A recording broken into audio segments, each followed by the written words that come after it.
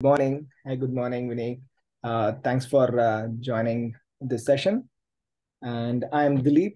I head the product Zoho CRM. And in today's session, we will see uh, the service platform fall 2020 release items. And probably we'll go a few of them. And the, the, these are all the list of things that we are going to cover. Uh, I'm just making it in a uh, very encapsulated way where uh, we are going to cover very important uh, aspects. One is the blended conversation, and how do we achieve those blended conversation using our instant messaging framework and the guided conversation, which is again a self-service platform. And then the new UI, the completely uh, new UI, which we have reinvented. Uh, we have done a lot of uh, upliftment and then a big leap towards the accessibility. How do we uh, do the inclusivity for various uh, disabled people? And then how this new UI can be extensible and composable for the, the developers and uh, the system integrator, integrators and so on and so forth. Great. so, um, Dilip, first of all, thank you for joining me. I know you presented before. It's good to see you again. And I'm looking forward to this. Thank you. Fantastic. Right. So uh, I'll give you, these are all the glimpses that we are going to cover on the instant messaging platform. And then uh, going into the guided conversation, these are all the important aspects that we would be covering using our demo. demo. Uh, for that, uh, you could see uh, the, the example that I'm going to take is a, a typical uh, e-commerce purchase and one of the users is going to raise a complaint about the product that he has purchased. Okay. Uh, so what you see on the screen is the left-hand side is the uh, is my mobile, which I've get connected. So this is my mobile.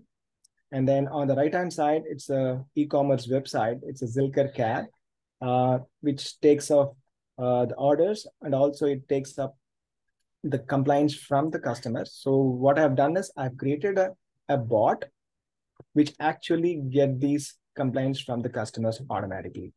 Let's get started. So for this um, demo, we will start off with the WhatsApp conversation with the bot. So what I'll do is I'll the moment I'll say hello,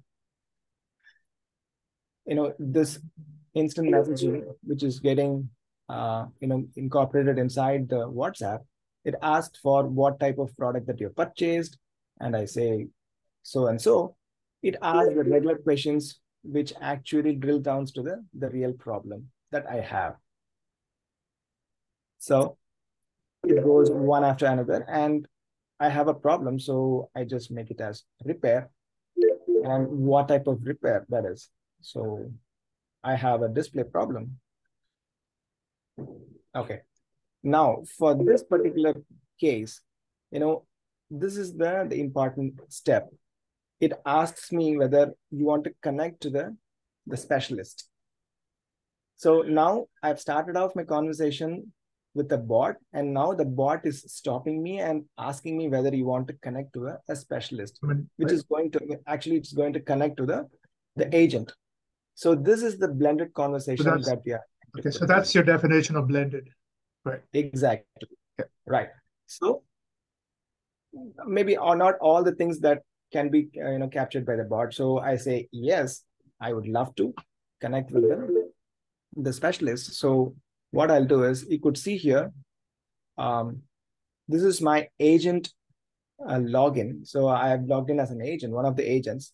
And what happens is from the bot, it actually routes to the the agent who is responsible for taking this kind of issues.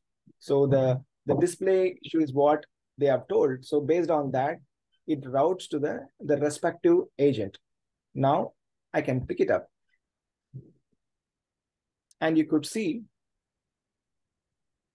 and so now as an agent, I picked up the uh, the chat conversation and I can just go ahead and see what is the history of conversation that has happened with the bot.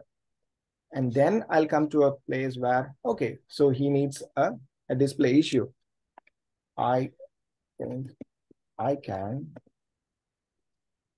solve your problem. right? So it, it just connects with my agent and the customer. Great.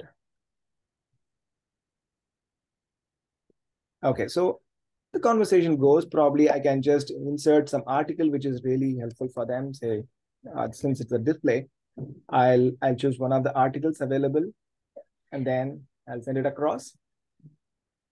And then he can just goes and sees it. And once that's done, probably you could say got fixed. Got fixed. So the customer stays on what customer stays on what they're not they're not going into yes. PC. Yes, the customer, yeah, the customer goes inside his WhatsApp. He he he actually pings the brand and started the conversation using uh, you know pinging the bot, and the bot goes and asks for certain questions. And one point of time, it transfers the the the you know the control to the the respective uh, specialist, which is actually the agent. Okay, so now it's all done. Now what you can see, uh, see here is there are two ways that you can go ahead with these conversations. Assume that there is a problem where this customer or this agent couldn't solve the problem. In that case, there is a, a, a flurry of options available. I can just you know choose one of them and transfer the entire conversation to another agent. This is one possibility. So this is an escalation path. Exactly. Yeah, exactly. The second part is another interesting part. Now, this customer's issue got solved. There are so many things that we can give back to the bot, the control giving back to the bot. Probably the customer want to purchase another device. For that, probably the bot is much, much easier for them. This is one way. And I'm good. The, the problem got solved. So I want to have my perk. So I just want to get some feedback from them. I can trigger that bot again. Now the, the, the control goes back to the bot. And you could see here, it asks for the, the, the rating and so on and so forth. And that's it. So it's all available. It's all done. And probably I can say, thank you. All good. That's it. So the conversation ends. And you could see it started off with bot. It went to uh, one of the support agents. Mm -hmm. And then from the support agent, it again goes back to the bot. So like this, you can keep on changing the controls based on the business needs of the user. So as a, as a service op, I can decide how the flow needs to go. So this is entirely in the hands of the, the service ops. I can, I can define these bots the way I would like to run my business. This is what we are trying to say it as a, a blended conversation. So to, to explore further more, uh, how do we achieve this? Uh, we will just go inside that. Um, just a second. So for that, what I will do is I'll go inside the setup. And this is the typical setup of the Zoho Desk, which is our, our service platform. And you could see there is something called guided conversation. And so this is a low code, a self-service platform by itself, where you can create any type of bot that you want. So for here, uh, I've just created this bot. Whatever that you have seen inside the bot, uh, the, the questions, the flow, everything comes or served from this builder. And you could see here the welcoming message, uh, you know, the, the options that they've asked, all those things, and how the transfer goes to the repair agent. So all these things are captured using this uh, builder. So what's your, how, is it, are you able yeah. to see some patterns? Are people using bots more or are they just saying transfer me to human? Uh, yes. Uh, sometimes you know uh, what happens is if the if the issues are not not everyone trusts bot in, in terms of solving certain problems. Probably a few people would like to connect with the human agent. And there are certain places where they don't want the human agent at all. For example, if they want to have some the credit card informations or some uh, very uh, GDPR specific PII data that needs to be pushed inside the system. They don't want any support agent to see that. so in that aspect, probably the transfer back to the bot is much, much easier. And in all these things, the individual human agent probably can just go back to the bot and the entire flow can be you know prescribed or can be defined by the the service op that's the beauty of it so this is the entire flow written by me and this could be dictated this could be pushed across to the the various support agents right. and and so if you see um, that that builder looks too much of things but it's pretty straightforward I, I'll just give you a glimpse of how it looks like. uh, so this is the builder that you would get to create a, a bot. So by I, I just get started by clicking on that.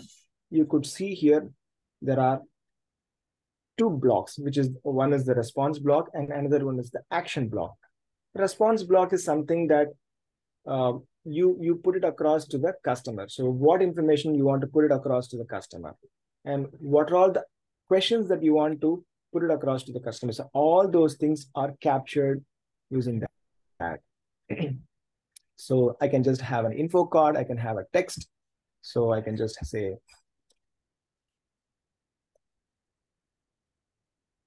welcome message,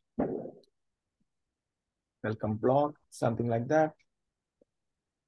So I can save it and then I can ask certain questions, or I can have some uh, options for that for that matter.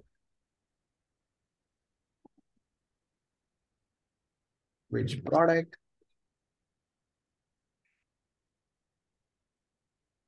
You can have any number of products that you want.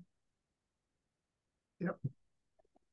Product type. So the reason why I'm you know, you know running through all these things is it is as simple as just dragging and dropping the blocks that you want to you know, capture from the, the customer.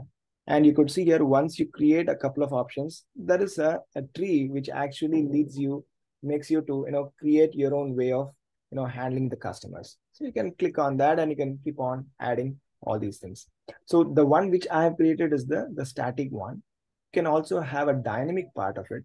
So the Z phone and Z pad you could you could get it from any of the third party application you could connect to any of your inventory and you can get those products and you can push it across here. So for that we have certain something called action block. The response block is something that visible for the customers. The action block is something that is not visible for the customers but it is for the internal purposes. I can just have a webhook. You can you can create a webhook so that that webhook actually listen to any of your third party application, get the necessary details, and then push those details inside your GC, inside your guided conversation, inside your bot. So, can you can you bring in things like calendars and other uh, Zoho applications in this? Yes, exactly, exactly. You can do that. So I'll just show you the list of services that you can actually bring in. Okay. You could see there is a Google, so you can just click on the Google and you can authenticate it. When you authenticate, uh, you know, when you authorize it, it'll ask for calendar, for uh, you know, the contact or whatsoever. We we can we'll link with Dropbox, Mailchimp. So all these are the default options available, and you can connect any of them. So surprised you don't have 50 Zoho ones right at the beginning. I'm sorry. I'm surprised you don't have the 50 Zoho applications right up right up front. See, the Zoho is the authorization is one. So probably once you have done the authorization, we have I have already done the Zoho authorization part. So once that's done, then obviously any of the applications can be connected. So this is the new connection that I'm creating. So you could see that Zoho Auth one. So inside Zoho, it's anyway the the authorization is already available, and you can start you know connecting to the uh, respective applications. You can have the shared applications and all those things. Right, right. So this is the part. So inside your bot creation, you can have all these things just by dragging and dropping. That is number one. The second important part is you can connect to any of the third-party application and still you make your guided conversation sit inside your system. So you can connect with your uh, payment gateway. You can check for your uh, payments, whether it is done or not. You can connect to any of the third-party application and check the statuses of all those things. So all these things are possible using the, the guided conversation. So that is what we are trying to capture inside the guided conversation. That's the reason why we say it's a, a self-service platform because it extends the, the possibilities beyond what you can create within your CRM itself, or within your uh, you know, Zoho Desk or Zoho uh, for that matter. So that's about the, uh, the guided conversation. And then we will move on to the next part, which is the instant messaging part. And you can, you can stop me if you have any questions. No, go ahead. Okay, perfect. So I go back, I'm going back to the, the setup and I'm going inside the instant messaging part. And these are all the applications that we support as of now. The one which which still under the hood is uh, Instagram, and another one is the, the Facebook Messenger. And there are so many other aspects which are coming up. We are yet to start the development like iMessages and so on. I was so going to ask about iMessage, yeah.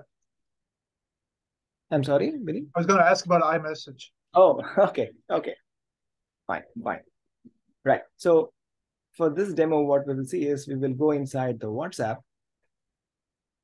and so you can you can create channels based on the departments that you have. So these are all the list of departments that I have. And cars is one of the departments for which I have created a channel.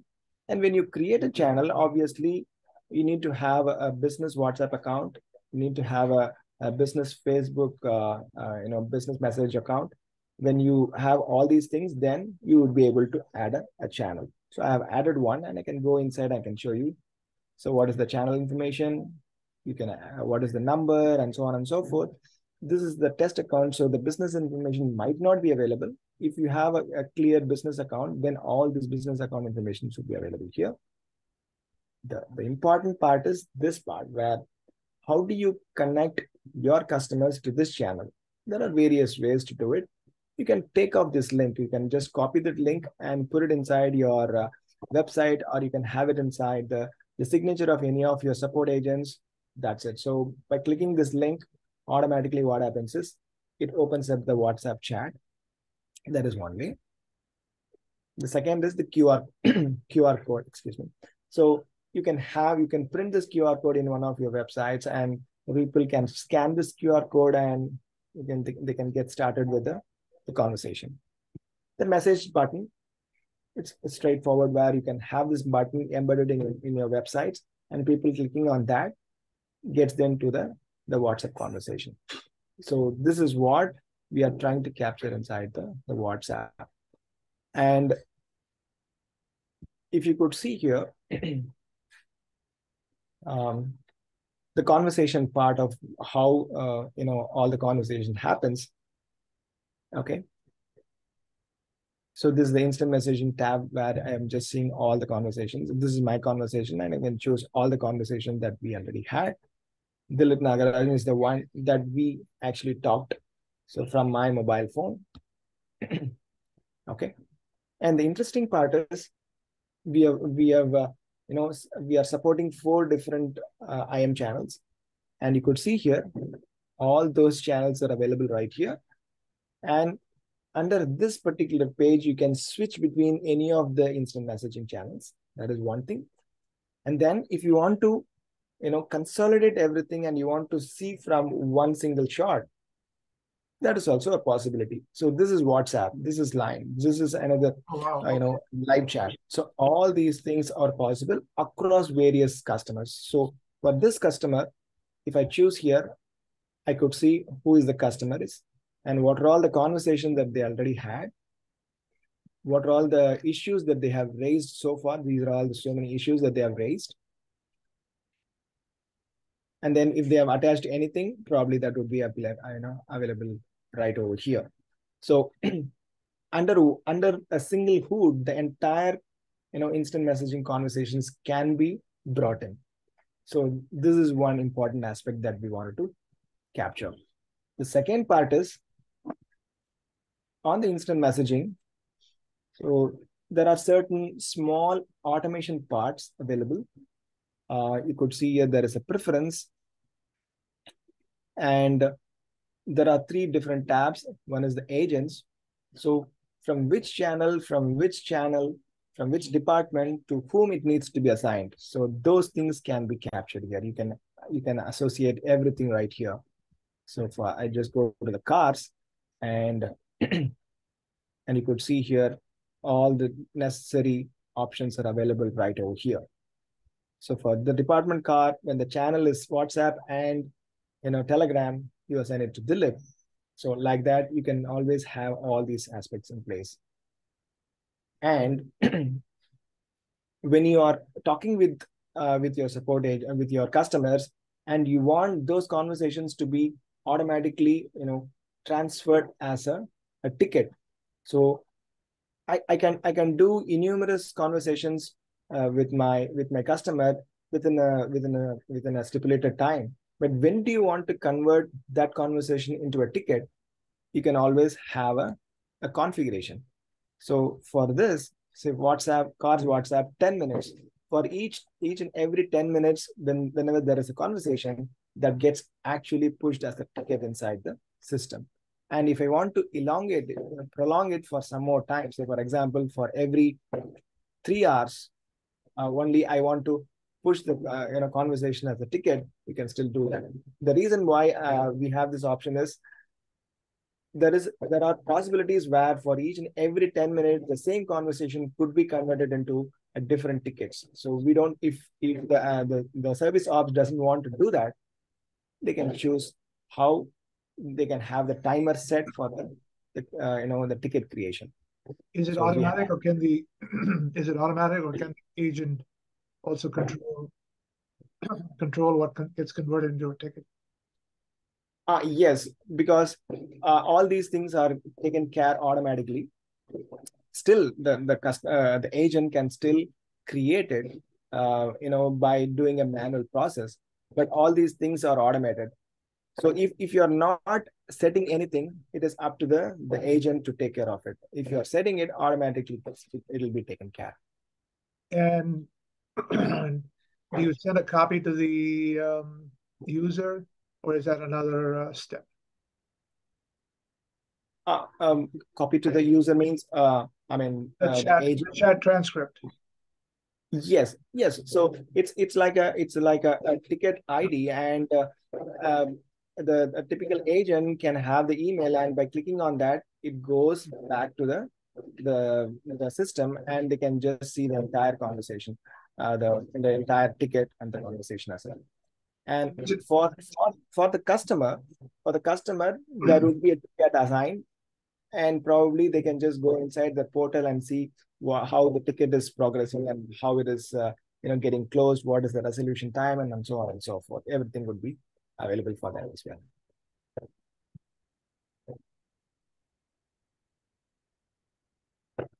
Okay.